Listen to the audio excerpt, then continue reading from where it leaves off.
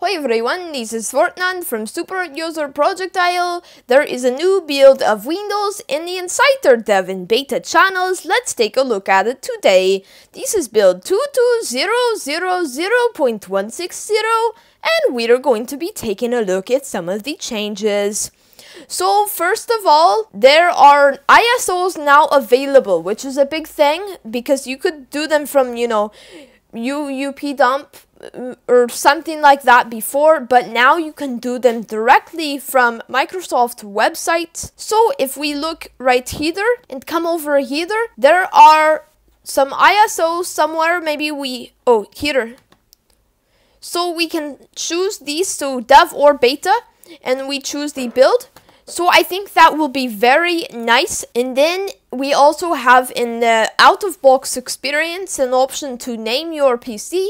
The thing is, I saw this before this build, like several weeks ago, so I'm not sure what the deal is with that. And then there is a new clock app, so it has focus sessions and stuff like. So if we go to the blog post, we can see it has focus sessions and everything like that. And then there are also, you know, estimates on how long a restart will take.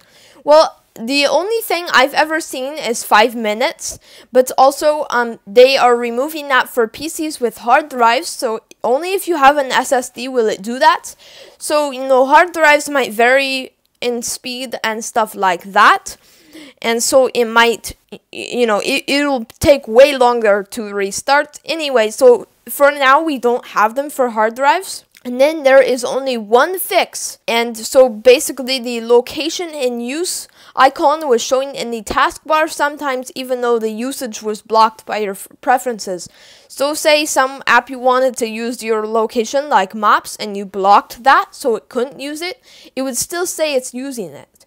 So that is now fixed. And let's take a look at some apps right here because, you know, we have some apps from last time that I never got a chance to show you and then we have the new clock app if I can even get that. So this is my main PC and as we can see here we have our new snipping tool and our new calculator. So snipping tool and snip and sketch have both been included in Windows but they discontinued Snip and Sketch and then brought some of those features over to Snipping Tool. So for example, Windows Shift S was Snip and Sketch before, but now it is Snipping Tool and other things like that. And so we have this UI redesign and we also have a dark mode in it. And then Calculator is not not much has changed but we do have like these rounded buttons but most importantly it has been rewritten in C sharp so it is, you know, now I don't know what it was before, but it's easier for developers to do something. I'm not exactly sure the details on that, but then we have like graphing and stuff like that. It all works very nicely.